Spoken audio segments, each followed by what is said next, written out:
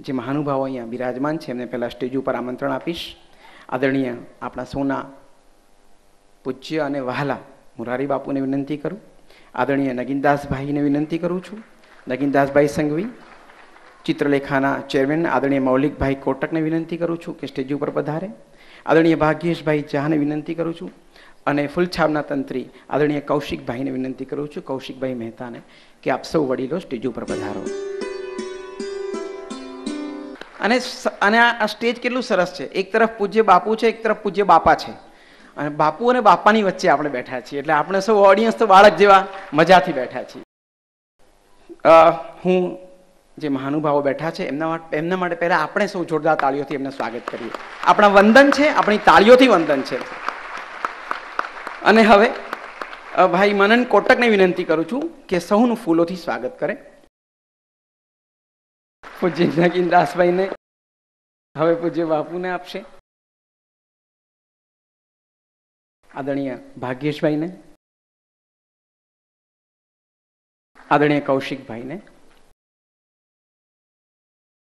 હું વિનંતી કરું છું આદરણીય મૌલિકભાઈ કોટકને ચિત્રલેખાના ચેરમેન, આપ સૌનું શબ્દોથી સ્વાગત કરે આદરણીય મૌલિકભાઈ કોટક.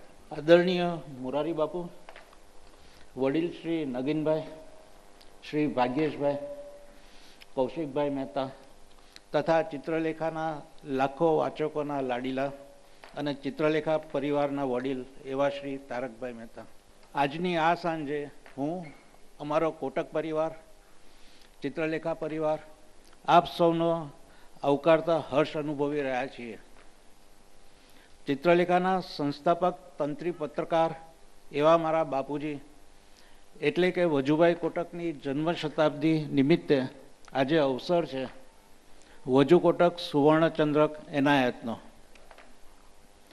માનવીની જિંદગીમાં હંમેશા એક એટલે કે આરંભ અને સો એટલે કે સદીનું મહત્વ અનેરું હોય છે. માનવી આવરદાના સોએ સો વર્ષ પૂર્ણ કરે એ જરૂરી નથી, પણ હયાતીના વર્ષો દરમિયાન એ જે કાર્ય કરે, સર્જન કરે, એ વધુ અગત્યનું છે. શબ્દ સૃષ્ટિના સંપાદક છે અને લખે છે કે ઝરણા બનીને પાડ ઓગળતા રહ્યા, આપણે માધ્યમ વિના મળતા રહ્યા.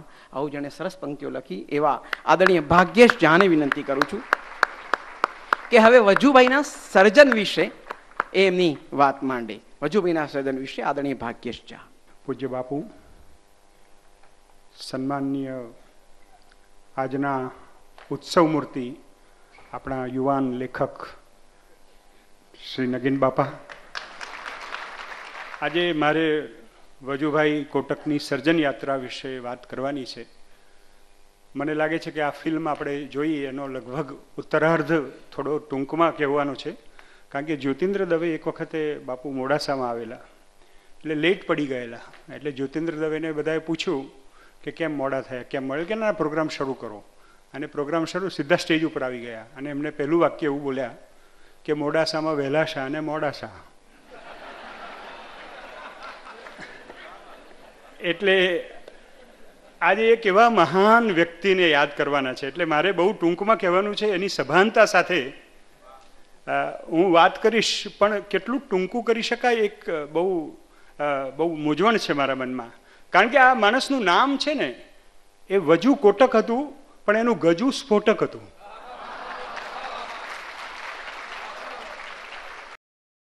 ચાલીસ ચાલીસ વર્ષ સુધી જેમણે રાજકારણનો ઇતિહાસ ભણાવ્યો હોય, એમની પાસે આવી જ અપેક્ષા હોય કે એમની રાજકીય સમીક્ષા તલવારની ધારે ચાલે. હમણાં હું એમને કહેતો હતો કે લોકો અમે એવું કહે છે, એક જમાનામાં એમના વિશે એમ કહેવાતું હતું કે કોંગ્રેસની થોડી થોડી તરફેણ કરે છે. અને આજે હવે ઘણા લોકો એવું પણ માનવા લાગ્યા છે કે થોડી થોડી ભાજપની તરફેણ કરે છે. એટલે મને બહુ સારો જવાબ આપ્યો કે હું તરફેણ નથી કરતો, પણ એ થોડા, એ લોકો થોડા થોડા સુધરવા માંડ્યા છે. તો આદરણીય નગીનદાસભાઈને સુવર્ણચંદ્રક હવે એનાયત થશે. ચાલીસ વર્ષ પહેલાંથી આ પ્રથા શરૂ કરી ચિત્રલેખાએ અને એના પ્રથમ જે ગોલ્ડ મેડલ જેને આપ્યો આપણે એ પથદર્શક તંત્રી હરકિશન મહેતા, પછી વિજયગુપ્ત મૌર્ય, પછી વાસુદેવભાઈ મહેતા, તારકભાઈ મહેતા, કાંતિભાઈ ભટ્ટ અને ડૉક્ટર સુરેશ દલાલ અને હવે આજે આપણા નગીન બાપા. તો વિનંતી કરું છું પૂજ્ય મોરારી બાપુને કે હવે આપણા સૌના લાડીલા આદરણીય નગીનદાસ સંઘવીને શાલ, સોનાનો ચંદ્રક અને પુરસ્કાર રૂપે, રૂપિયા પંચોતેર હજારનો ધનરાશિથી આપણે એમનું સન્માન કરીએ અને પૂરા તાળીઓના ગળગડાટથી હોલ ગુંજતો રહે. પાંચેક મિનિટ તાળીઓ પડે તો વાંધો નથી.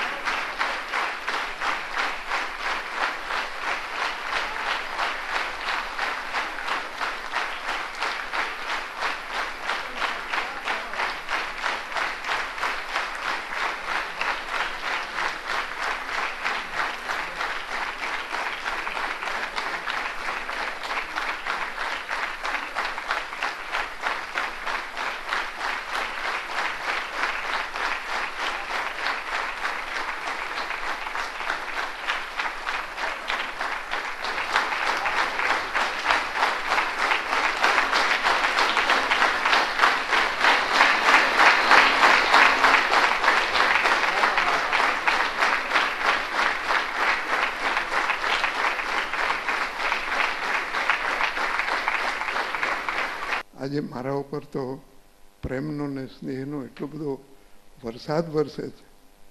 ત્યારે એ વરસાદનું હું વિશ્લેષણ ન કરું, એ વરસાદનું હું નાહી લઉં. કારણ કે બાપુ ઘણીવાર કહેતા હોય છે કે વરસાદનું કંઈ વર્ણન ન થાય, નાહી લેવાનું. સુંદર અમે એ વાત બહુ જ સરસ રીતે કહી છે.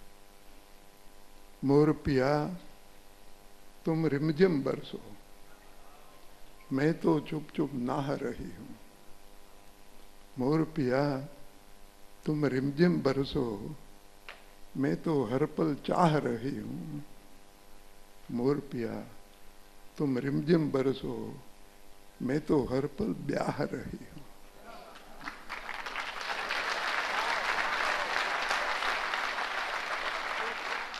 શ્રીરામચંદ્રમ શરણમ પ્રપદ્ય શ્રીરામદૂતમ શરણમ પ્રપદ્ય આદરણીય મારા માટે પૂજ્ય પણ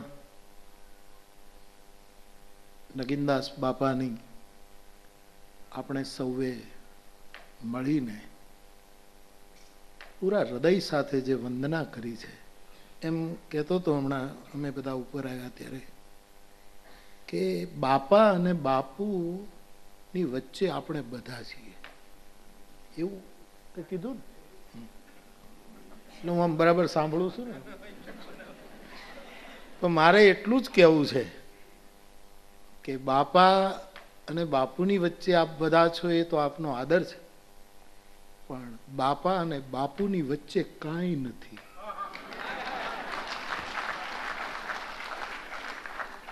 એક પ્રમાણિક ડિસ્ટન્સ છે. જે આદર અને અહેતુ પ્રેમ સિવાય કશું નથી.